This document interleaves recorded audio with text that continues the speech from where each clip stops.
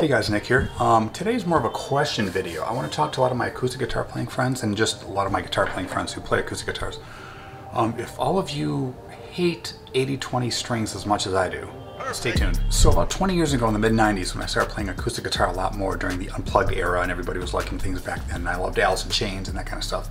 Um, I remember looking at 80-20 strings. I had heard that those strings were kind of warm. People liked those, like the, the eclectic, uh, cool people like the 80-20 strings. That was the last time, 20 years, 20 years?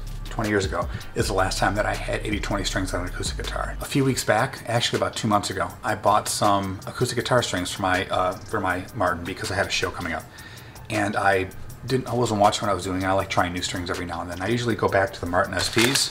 I wanted to try something different, and I grabbed some D'Addarios, but I grabbed some 80-20s, and I brought them home, and I started to put them on. I'm like, oh crap, these are 80-20s, and I didn't like those the last time. They were so. Here's why I didn't like them.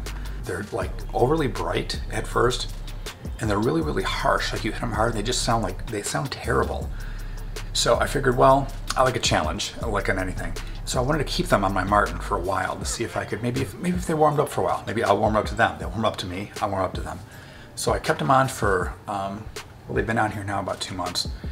And after I recorded the last few videos that I've recorded on acoustic have been there. However, I have to play really, really light on them, like lighter than normal, which is fine but I play really light so they didn't sound too harsh. You couldn't hear the harshness when I recorded.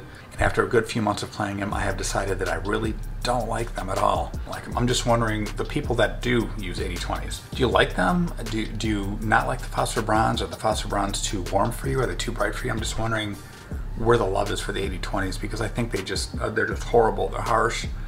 They sound like crap. They feel bad. They just don't, they just have no tone to them at all. They're just this really terrible string.